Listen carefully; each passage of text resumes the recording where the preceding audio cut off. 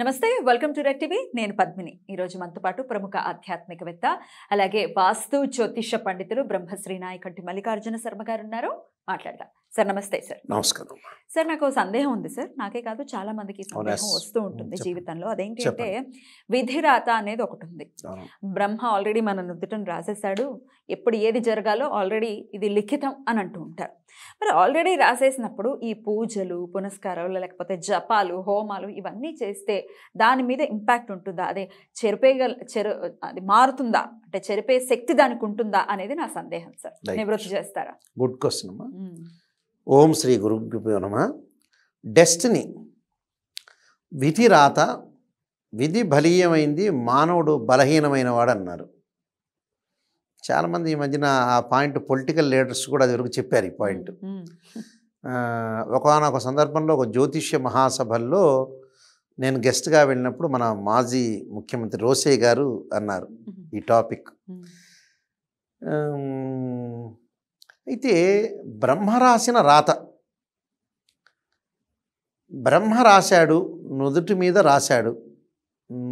నుదుటి మీద రాసినప్పుడు నొసట తన రాసిన రాతను ఎవరు కూడా చెరపలేరు అనేది ఒక సామాన్యుడి పరిభాషలో ఒక నానుడి మాత్రమే. రామాయణ కాలంలో పుత్రకామిష్టి యాగం జరిగింది. అలానే అశ్వమేధ యాగాలు కూడా జరిగినాయి. అంటే భారత భాగవతంలో రామాయణంలో కానీ వాటిల్లో అన్నింటిలో కూడా యజ్ఞయాగాది క్రతువులు చేశారు.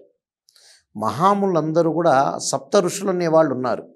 అంటే వశిష్ఠుడి దగ్గర నుంచి భరద్వాజ మహర్షి దగ్గర నుంచి అందరూ కూడా చేశారు. చేసిన తర్వాత వాళ్ళు ఎందుకు చేశారు? యజ్ఞయాగాది క్రతువులు ప్లస్ వేదాలు వెలిసినాయి. అంటే మనకి ఋగ్వేదం కానీ యజుర్వేదం కానీ సామవేదం కానీ అధర్వణ వేదాలు అనేవి నాలుగు వేదాలు ఉన్నాయి. బ్రహ్మ రాసిన రాతను బ్రహ్మ ఏం చెప్పాడంటే బ్రహ్మ రాసిన రాతను నేను రాస్తున్నాను.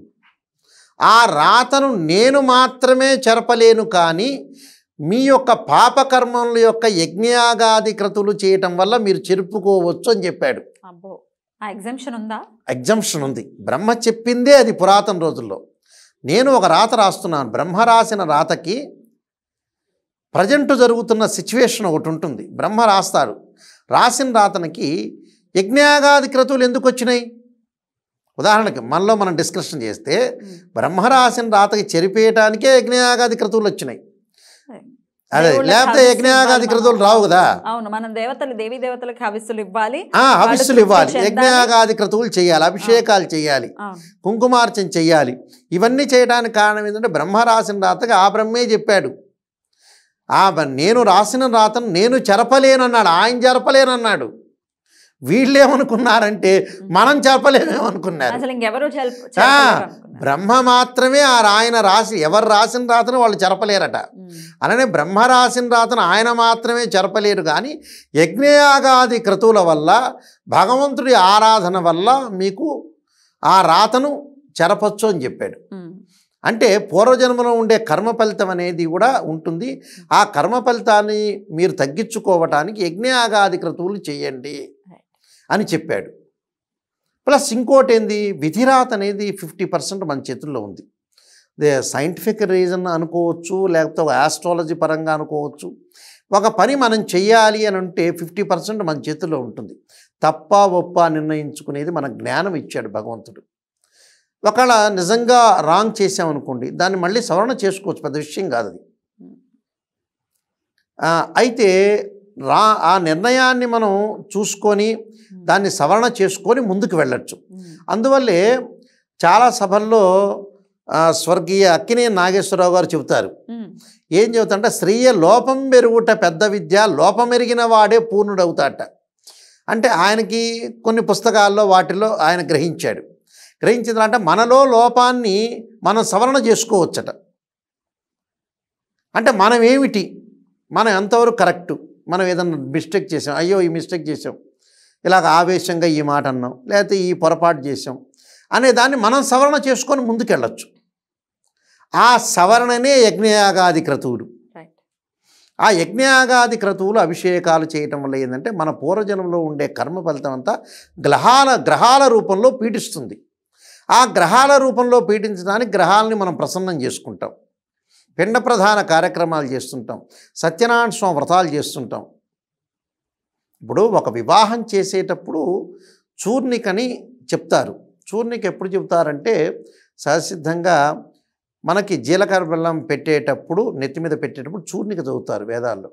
అలానే కన్యాదానం చేసేటప్పుడు మహాసంకల్పం చెబుతారు. మహాసంకల్పం అంటే సంకల్పం కంటే గొప్పది అని అర్థం. అంటే ఏ క్షేత్రంలో ఉన్నాం ఎక్కడున్నాం అనే మంత్రం ద్వారా వస్తుంది. అంటే ఏ ప్రదేశంలో ఉన్నాం మన ఋషులు ఎవరు మన వాళ్ళెవరు? అంటే తాత తండ్రి నప్రేం పౌత్రాయ పుత్రాయ వరాయ అని చెప్తారు. అలాగా అంటే అధానంత వీర్య శ్రీమదాది నారాయణ సచింత్యాపరమణ శక్తిని బ్రహ్మాణస్య మహాజలోక మధ్య అని చెబుతారు. అతల వితల సాతల మహాతల పాతాళ సప్తలోకాలని. అంటే సప్తలోకాలన్నీ కూడా ఉన్నాయి. భూలోకం భోర్లోకం సువర్లోకం అని.